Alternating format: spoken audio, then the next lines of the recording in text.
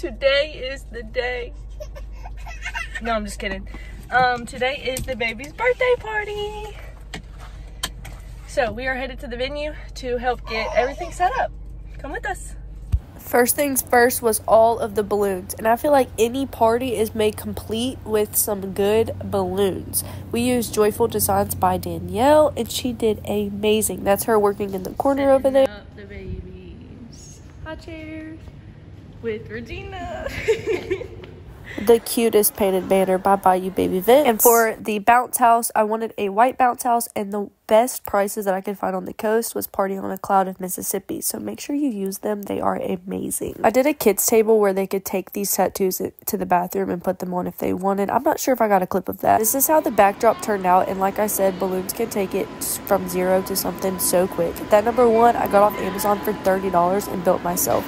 This is our welcome to the party sign that I made on Canva all by myself. This was the kids table that I talked about. I did coloring books, the little stick it where they could build their own animal, and the tattoos. And then this is their little grab and go boxes where they can adopt an animal if they want it. I got this cart from JC Rentals and made it a little fruit stand where you could come up and make your own little fruit basket. It turned out so cute. This is trial number one of us trying to get the babies to take a picture for us. And this is trial number two. As you can imagine with four babies, it is very difficult.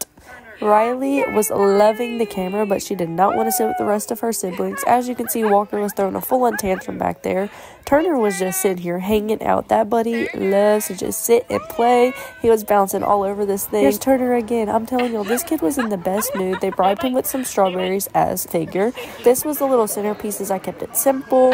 Miss Collins and Riley loved this ball pit. This was the cake. We had cake while we did presents just to kind of help the time go by a little bit quicker. We were opening all of the presents. I know some people like to just wait and do the presents at home, but I went ahead and did it at the party. I did smash cakes. My sister actually DIY'd the little candles that you can see there. So we got the candles lit and we sung happy birthday. Hey to you. Happy birthday to you. Happy birthday, dear the quads.